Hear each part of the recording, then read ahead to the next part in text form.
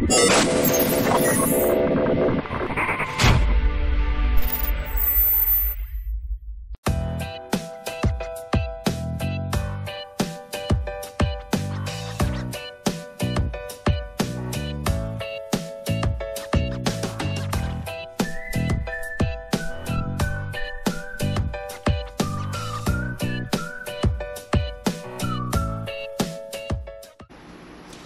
guys, uh, not beer, although I do have good German beer in the fridge, but it's hot out here. And uh, just gonna finish up my cherry coke, but uh, welcome back. World's Worst Fishing, I'm Chris Jones, and today we have a great popular colors series for you. Uh, this is a color I've been asked to do. Um, it's a color I've wanted to do, just haven't done it. So today we're doing PB&J. I'll put a picture up here on the screen. But um, this is a really pretty color. It's kind of like a brown or, or, sort of like a Carolina pumpkin uh, mixed with like a June bug purple. And um, it really mixes together really well in the claws and extremities and things like that.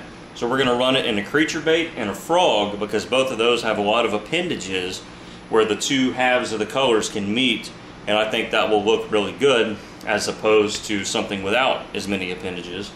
Um, so what we're going to be doing is we're going to be taking some Carolina pumpkin. This is just a brown from Lure Works. And then we're going to blend purple and black flake together to try to get a really rich purple to blend it together. And um, we're going to be doing uh, the grass grenade mold and, uh, and my custom frog mold. So um, anyway, this is PB&J, and uh, I hope you enjoy.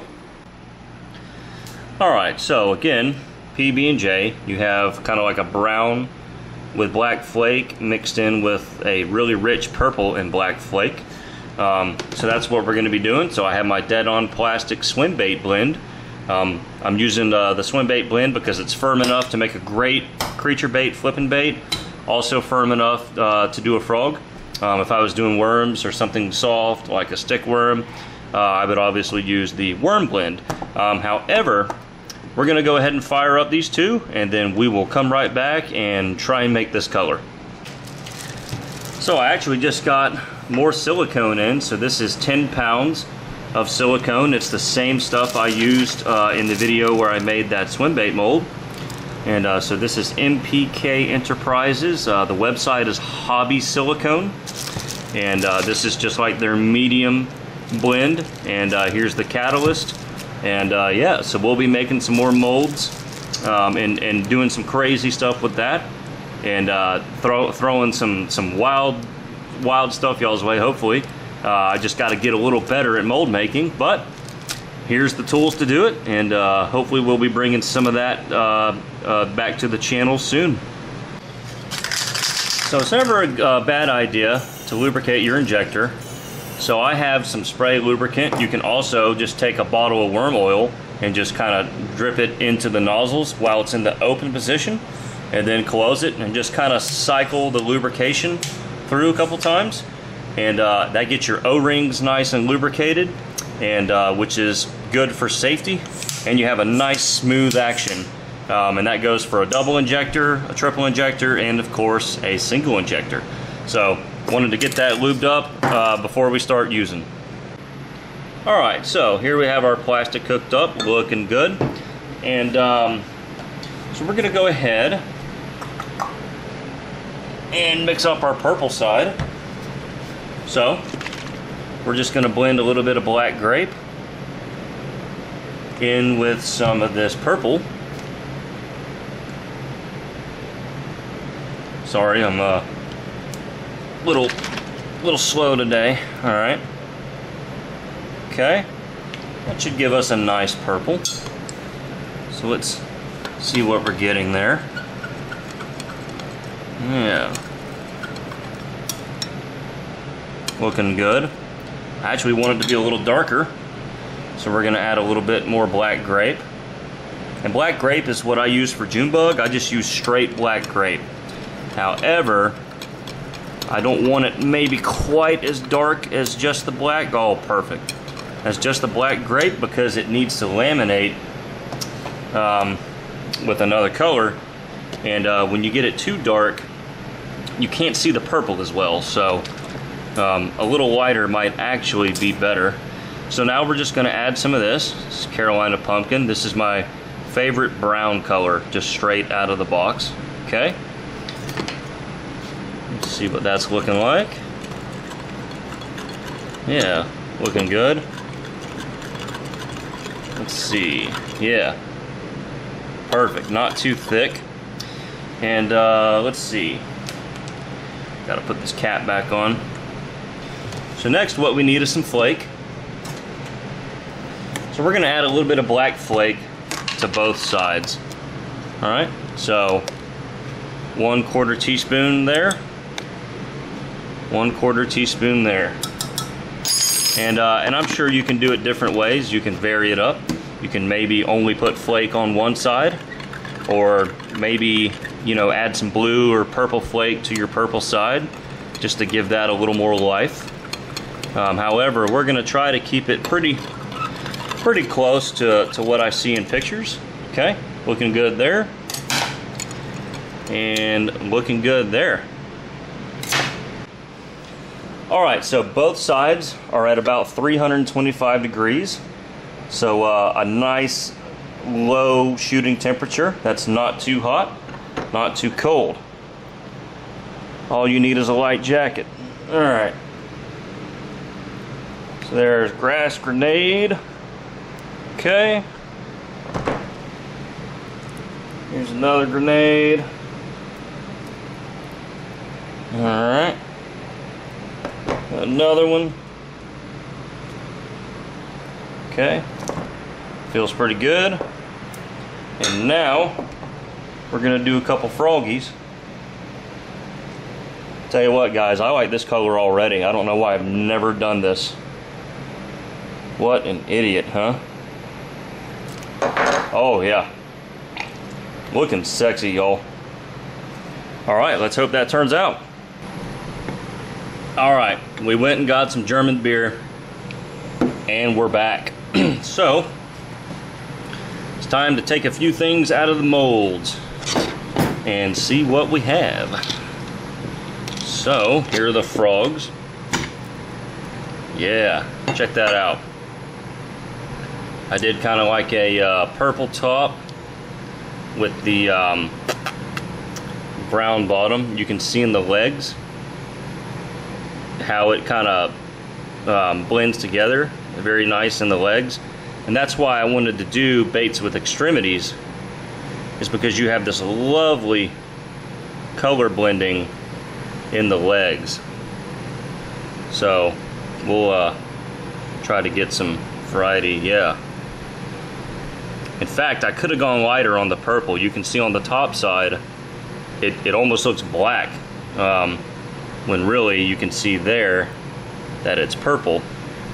And uh, you just have to be careful not to mix your color too thick, which in this case it looks like I did it just slightly too thick. All right, let's take a look at the uh, creature baits here and just kind of see see what's going on. Get these little squigglies out of the way. Looks like the plastic's done in the microwave. Yeah, looking a little better. Yeah. You can really see it in the tails. I mean, that is a really, really cool shade right there. So, if I was to mix this up again, I would actually go lighter on both sides. Um, you, you can see there's really not any transparency there. So I would go lighter on the brown and lighter on the purple. And I think you would get a little bit better blending. I like the two colors, but I definitely think the purple's a little deep. Or, uh, excuse me, the purple's a little thick. All right, so we're gonna try it again. This time we have brightened the two colors. Um, so they should not be quite as thick and the purple should be a little lighter. Um, so fingers crossed that we'll get uh, something maybe a little better on this go around. Okay. Uh, there's grass grenade one. Ooh, plastic going everywhere. Grass grenade two. Okay. Top that off. Grass Grenade 3. Alright. And some froggies. You know what? I did the frogs wrong. Dead gummit. I did. Pretty sure I just did the brown side on the top.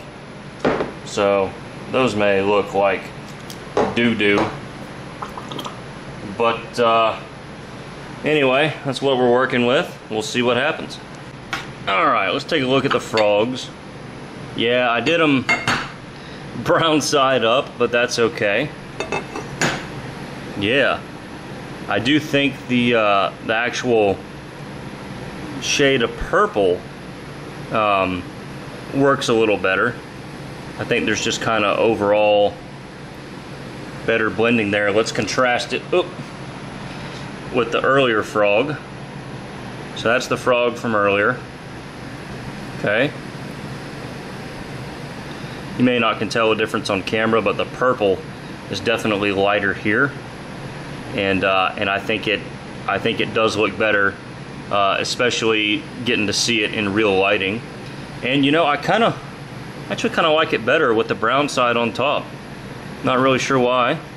I figured, you know, I usually do like, you know, the darker side on top, lighter sides on bottom. But that's not bad. Doesn't make a bad frog color at all. Okay. Take a look at some of the uh, creatures here.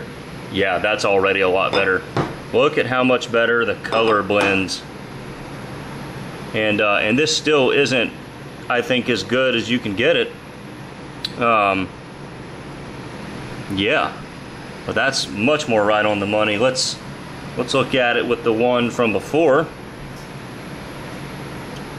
You know, it's just darker. You see less purple. There's less blending on the bottom side, I think. yeah, this is definitely this is definitely a winner right here. I like that a lot better.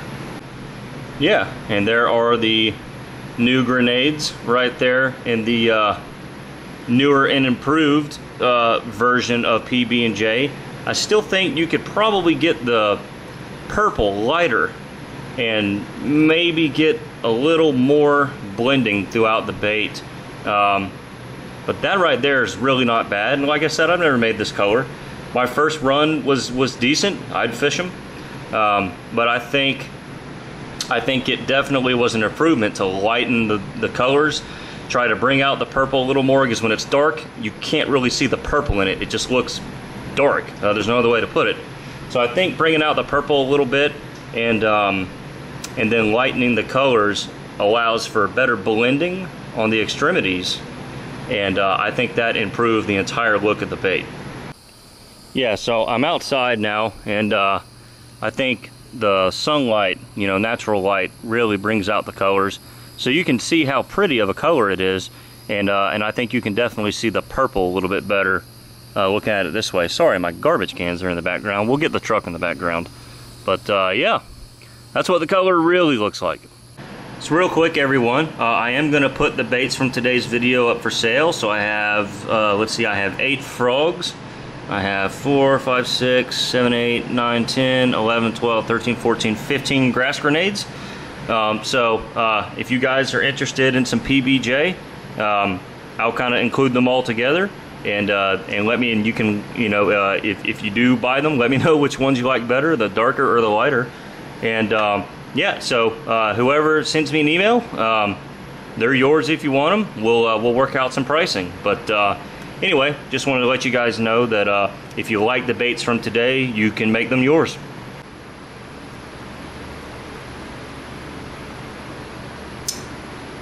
Prost! Oh, Deutsch beer. Can't beat it.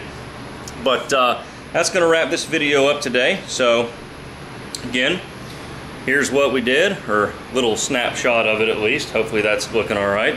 And uh, yeah, something new, PB&J. So if you've uh, if you've wanted to learn that color, um, I think that's a good starting point. Just kind of break out your June bug pigment or your purple pigment. You know, try it with each one straight first, and uh, blend it kind of like I did if, if you uh, don't get what you want and just try to really lock it in and uh, for a brown just use a light shade of brown. I like to use that uh, Carolina pumpkin uh, from Lure Works. That stuff looks great no matter what. And uh, I think as long as you do that sorry I got a burp I think you'll get a good result. And um, it's it's not too terribly difficult of a color but I think the challenge is to get the, the blending right in the extremities and to make and, and for the purple to look like a rich purple and not too dark. So um, with that said, we're gonna sign off and uh, hope you've enjoyed this video and uh, we'll definitely be back with more popular colors soon. It's, uh, it's a little hot out here. It's, yeah, I mean, heck, we're in the middle of summer down here in Florida. So last three days it has hit 100 degrees plus and uh, my garage is no stranger to it. So uh, it's uh, it's definitely a little hot, but um, yeah, we're gonna sign off. Thank you guys so much for watching. Shoot me a comment down below. Let me know how uh, you think I did. And uh, as always, please like, subscribe, hit the notification bell, and we'll see you next time.